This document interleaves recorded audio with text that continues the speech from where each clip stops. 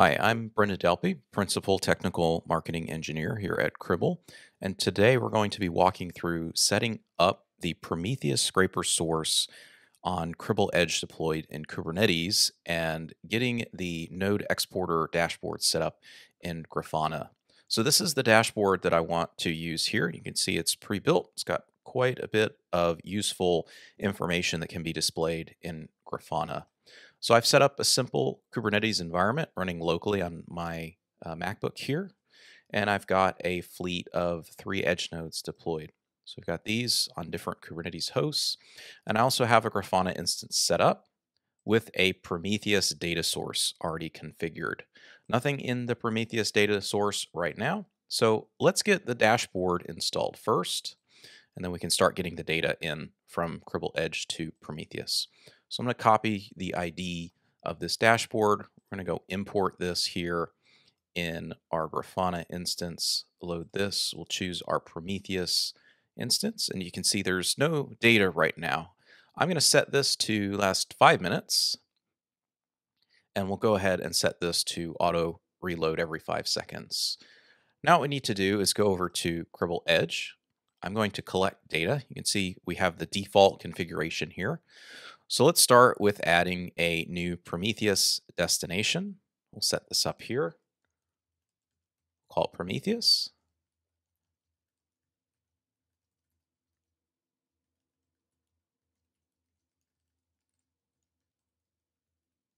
And we put in the remote write URL. Now your URL, the domain name and host name of your Prometheus server may vary.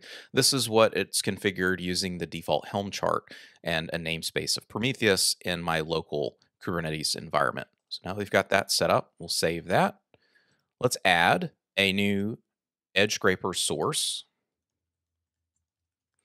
I already have Node Exporter installed on all of my nodes. So we're going to choose the Kubernetes node discovery type. We're going to use the HTTP protocol. The default port is 9100 for the node exporter. We're going to choose the metrics path, leave everything else the default. I'm going to add a field in here called job,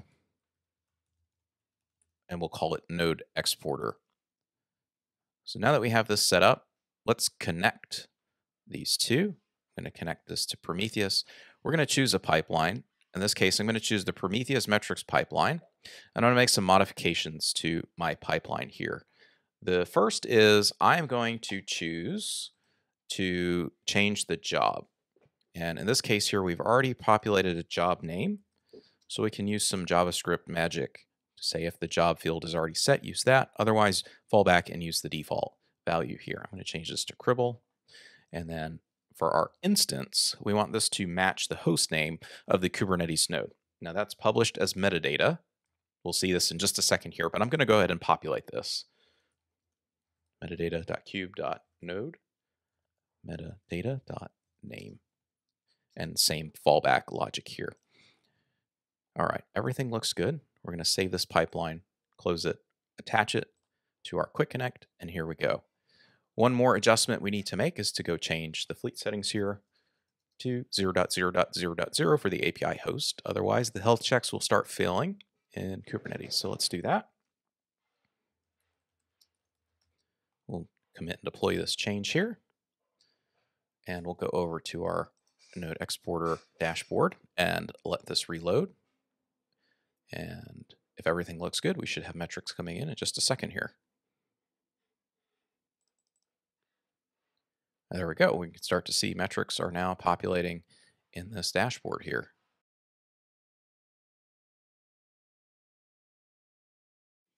So now that we've configured our Prometheus scraper source to forward to the Prometheus remote write destination, let's take a quick second to review the contents of the metrics in the source. So you can see I've opened our capture to show live data. In this case, these are metrics being scraped from the node exporter endpoints, and you can see a few on the screen here. In another second, it will generate some more. We can scroll through this list and look. Now I want to take a look at the internal fields. So we'll enable this toggle, show internal fields. And let's look at the double underscore metadata field. This is generated for events in Cribl. and I can see I have some special information about Kubernetes, in this case node and pod information, and I have a field here for the node with a name, kind control plane. This is the node the Cribl Edge instance is running on. And if you recall from earlier, this was the field that we added into the pipeline to generate the instance name. That's it. Thanks for watching.